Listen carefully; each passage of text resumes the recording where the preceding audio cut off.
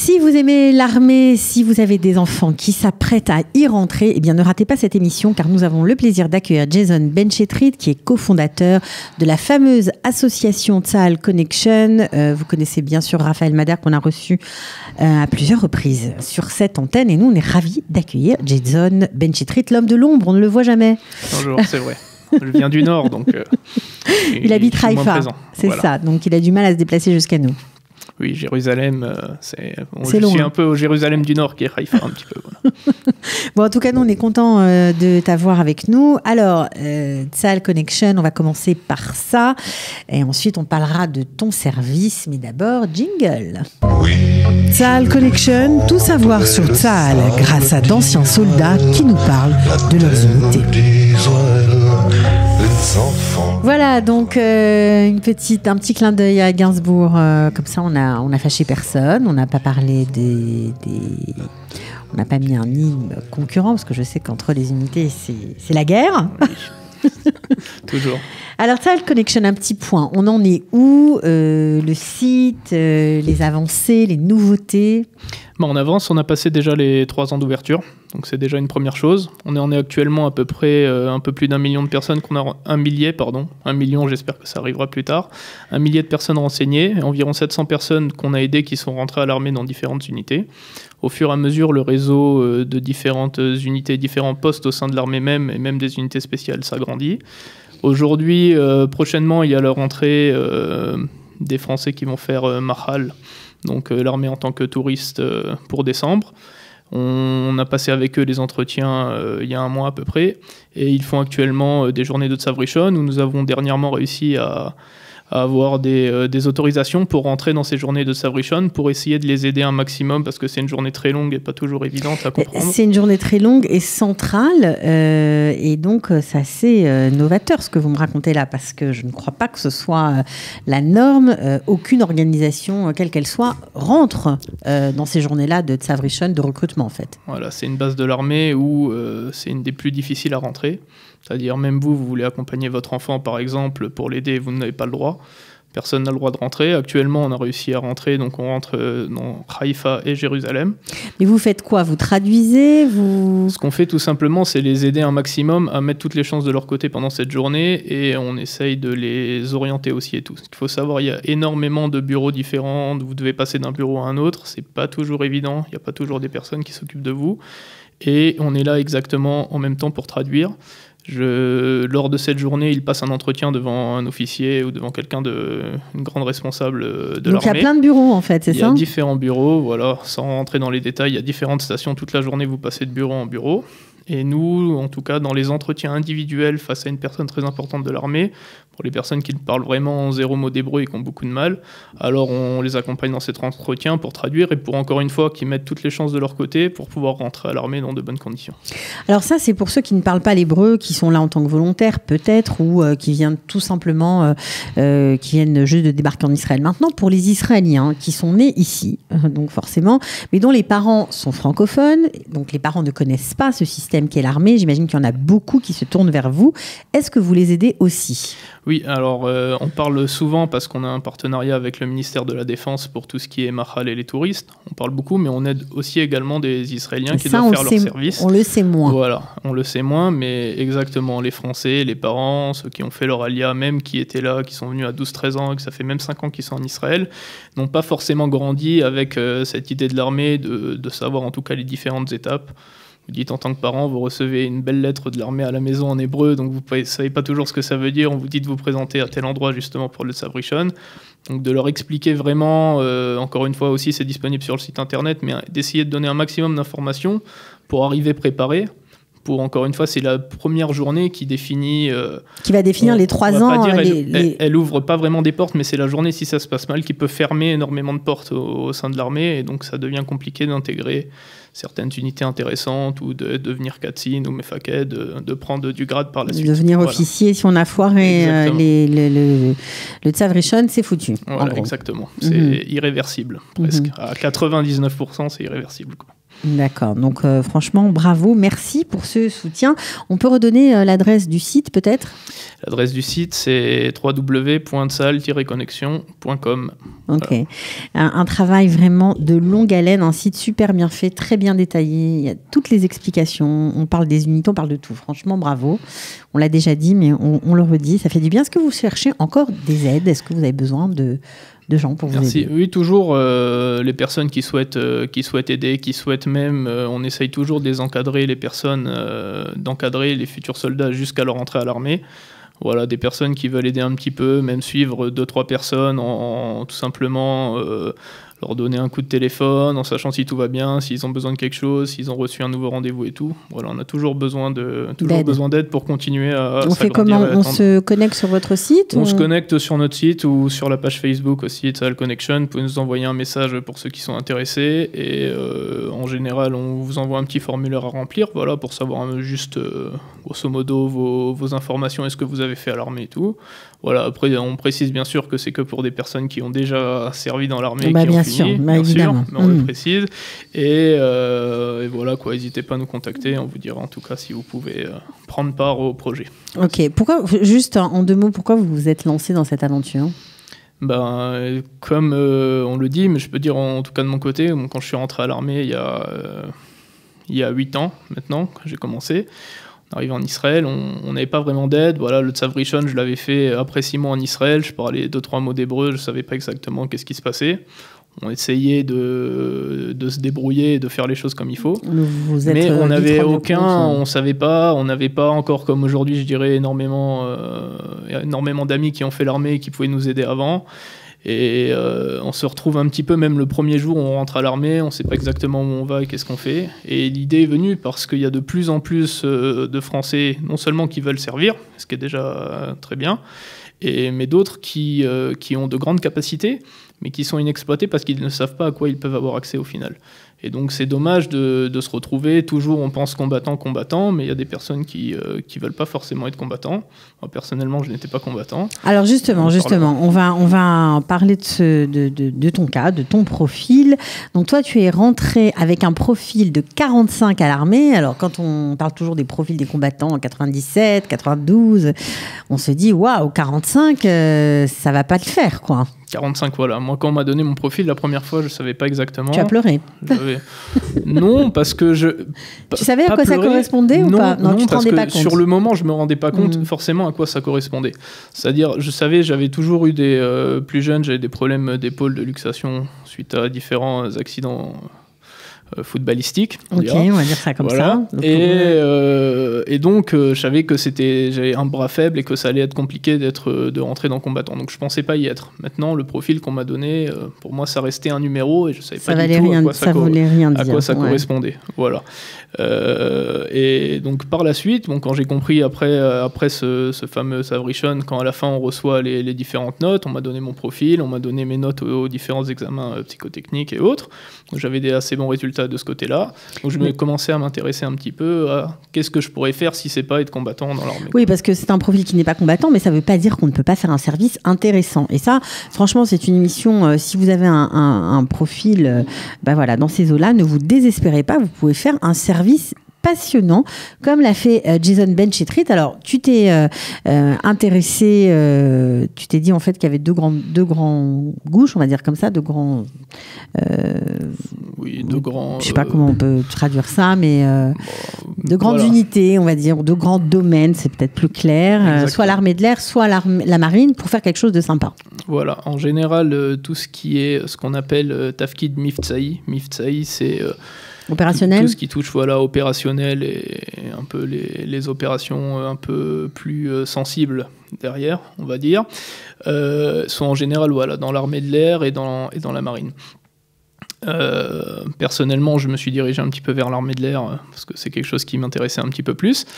Et euh, donc j'ai commencé à me renseigner euh, doucement un peu aux différentes unités qui étaient possibles. Et on mhm. m'a proposé euh, au sein de l'armée. Alors il faut expliquer quand même que l'armée est quand même très bien organisée. Ils font aussi des forums après ce fameux Savrichon pour donner l'information aux soldats. Faut-il encore savoir où aller la chercher? Mais vous avez, enfin tu as participé à un forum de l'armée de l'air et c'est là-bas que tu as pris conscience de toutes les possibilités qui t'étaient offertes. Voilà, je pense que le forum même euh, expliquait euh, un nombre restreint de, possibilités, mais en tout cas en présentait quelques-unes, présenter quelques grandes lignes, euh, présenter par exemple, pour en citer quelques-uns, aujourd'hui qui prend beaucoup d'ampleur et on le voit de plus en plus avec les tirs de roquettes dernièrement dans le sud, tout ce qui fait partie de de Barzel, du dôme de fer. Par exemple, c'est qu'un qui est un poste accessible dans l'armée de l'air aujourd'hui, qui a pris énormément d'ampleur. et, et, on n'est pas obligé d'être combattant pour ça. Non, non, voilà. On peut avoir pas un super profil et, voilà. Après, il faut, faut, regarder, ça évolue tout le temps en fonction des, demandes qu'ils ont et, ce qui, euh, et au niveau du profil qu'on demande. Euh, et on se rend compte combien c'est important. Voilà, y il y avait tout ça. Et moi, je me suis dirigé plus vers euh, ce qui était tout ce qui est contrôle aérien et contrôle de l'espace aérien israélien. Comme une espèce d'aiguilleur du ciel. En Exactement. Ok. Euh, alors, tu rentrais dans l'unité euh, Malfit. Ma, file. Mafilt. Mon navirite. Voilà, c'est ça. Ok. Donc, en gros, c'est l'analyse des images pour détecter euh, qui pénètre dans l'espace aérien israélien. Voilà. L'idée, c'est de sans, sans, rentrer plus dans les détails, parce, que malheureusement on ne, peut pas, on ne peut pas en parler, euh, c'est de, de contrôler tout ce qui vole au-dessus de l'espace aérien. C'est-à-dire, euh, si je vous prends un exemple, euh, il y a... Qui contrôle l'espace aérien israélien? L'espace aérien israélien est totalement militaire. 100% mhm. militaire. Donc il est contrôlé par l'armée, il est contrôlé par deux bases principales, une qui est située à Méron à côté de Tzfat, là où j'ai servi, qui s'occupe de Tel Aviv et jusqu'au nord d'Israël, et euh, une qui est située à Mitzperamon, que vous pouvez des fois voir en allant vers Elat, ceux qui prennent la route, euh, qui s'occupe donc de l'espace Tel Aviv jusqu'à jusqu'à Elat, à peu près jusqu'à Elat, jusqu'à la frontière. Ok. Donc c'est sûr que c'est très euh, compliqué, j'imagine, de tout gérer. J'imagine que ça fonctionne 24 heures sur 24. Exactement, on fonctionne par, euh, par type euh, de garde, comme vous feriez une garde à l'armée, qui sont en général des sessions de 3 heures. On n'a pas le droit de passer plus de 3 heures et demie d'après la loi. Euh. Pourquoi? Parce que 3 heures et demie à scruter les ordinateurs pour une seule personne, ça suffit quoi. Plus de 3 heures sans lever les yeux d'un écran, ça devient. ça devient périlleux. Compliqué. Voilà, ça devient périlleux et et voilà, en tout cas, c'est des, des, règles qui définissent eux, en tout cas, qui considèrent qu'après 3 heures, on n'est plus du tout efficace. Donc, euh, ça reste la limite. Ça reste la limite à, ne pas dépasser. D'accord. Euh, qu'est-ce que vous avez appris dans cette euh, unité? Alors, on comprend que vous avez scruté sur des ordinateurs l'espace aérien israélien, que vous avez Qu'est-ce qui vous a qui vous a passionné quoi? D'abord, ça m'a fait prendre goût un peu à tout ce qui est euh, l'aviation et l'aéronautique. Euh, D'ailleurs, vous êtes aujourd'hui ingénieur en aéronautique. Voilà, j'ai terminé euh, il y a bah, en août, voilà, dernièrement. Et ça m'a fait prendre goût déjà à, quelque chose que je ne connaissais pas forcément très bien. De deux, ça reste tous ces services dans l'armée, c'est peut-être important de préciser, ça reste des services dans de très petites unités, c'est-à-dire c'est des très petites bases personnellement à faire euh, ce que je faisais moi exactement sur les images aériennes. On était euh, moins de 30, si mhm. vous voulez, dans une base à se relayer toute la journée pour différentes opérations. Donc vous arrivez dans une base où vous connaissez énormément de personnes, vous travaillez main à main avec des officiers aussi euh, plus ou moins gradés, même très gradés dans, certains cas. Mhm. Et donc ça déjà c'est une première chose, vous formez un petit peu une famille, le service est un petit peu différent et tout, parce que tout le monde est mis un petit peu sur le même, euh, euh, on va dire un peu au même niveau. Quoi, voilà. Même si vous n'êtes pas officier et tout, votre travail est, euh, reste un des, un des plus importants que vous pouvez faire dans ces bases-là. Mhm. Qu'est-ce qu'on a appris d'autre? On apprend toujours à travailler en équipe, très important, parce qu'on n'est pas tout seul à le faire, on travaille avec chaque personne, euh, il y en a certains voilà, qui contrôlent l'espace aérien, d'autres qui s'occupent d'aiguiller, d'autres qui s'occupent d'être en contact avec, euh, avec euh, directement avec les Tayasot ou les, comment on va les appeler, les, euh, enfin, les bases de l'armée là où d'où les avions décollent, un petit peu et tout, pour, pour récupérer les autorisations, mhm. vous occuper quand il y a un problème de. Oui, puis c'est très large, comme vous avez dit qu'il n'y a, pas de, a pas d'espace euh, aérien civil, en, gros, donc euh, même les avions privés, les avions civils, c'est vous qui les, pour, vous qui les dirigez. Des avions d'Elal, par exemple, vous prenez l'avion, vous venez en Israël, vous atterrissez à Tel Aviv. ça, passe par ça reste des aiguillères civiles, mais ils sont assis dans les mêmes bureaux que nous. Euh, assis d'un côté, ils sont assis en face. Et justement, pour en cas de, problème ou besoin d'une intervention et tout, pour qu'ils puissent rediriger les avions et pour pas que ça passe par une chaîne, euh, par une par différents Il n'y a pas de perte, il a pas de perte d'information. S'il y a un danger, et tout, la, la, réaction est très rapide. Voilà. voilà Est-ce que vous avez vécu des grandes périodes de, de tension et d'attaque de l'espace israélien De tension, oui. de guerre, personnellement, non. Plutôt en Milwim lors des réserves que, que j'ai fait pendant un moment. Euh, la tension, on se rend pas compte à combien, mais elle est, je dirais, au moins, euh, au moins une fois par semaine, euh, il y a une, montée de tension au niveau de l'armée parce que parce qu'il y a des opérations comment dire, parce que vous avez des, problèmes au sud avec Gaza, donc euh, ça c'est la base du sud qui s'en occupe. Vous avez des problèmes des fois dernièrement en Syrie, euh, on ne sait pas trop exactement ce qui se passe. Donc tout ça, il y a toujours une préparation de l'armée euh, mhm. par rapport à ce qui se passe autour d'Israël et autres. Combien de temps vous avez été formé pour faire ce genre de La formation, la formation pour le travail, c'est de trois mois. Mhm. Ça se passe Intensif? Trois mois, euh, vous avez des cours du matin, euh, de, je dirais de 8h le matin jusqu'à 20h le soir. Avec des examens Avec euh, des examens à la fin que vous passez, exactement. c'est pas une formation. Si vous ne les passez pas, vous ne pouvez pas faire ce, ce job Voilà, exactement.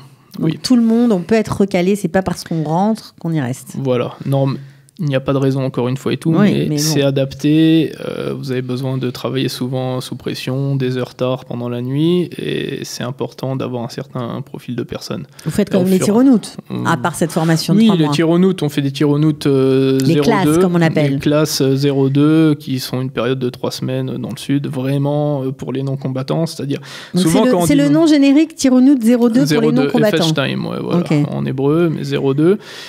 c'est une période de trois semaines où vraiment, il faut se dire, en général, les personnes qui ne sont pas combattantes ont vraiment des, ont vraiment des problèmes physiques ou des problèmes de dos. C'est des mhm. personnes qui peuvent pas trop, euh, donc, pas trop porter. Donc ça, reste, euh, voilà, ça, reste une formation basique. On apprend une formation basique à l'arme parce qu'on est obligé euh, de le faire.